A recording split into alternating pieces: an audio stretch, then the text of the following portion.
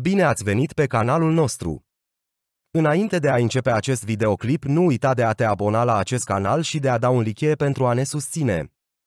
Abonarea este gratuită. Vă dorim vizionare plăcută! Tocmai ce s-a terminat sezonul 3 al serialului Lia, soția soțului meu. Avem vestea momentului. Știm când începe ultimul sezon din Lia, soția soțului meu.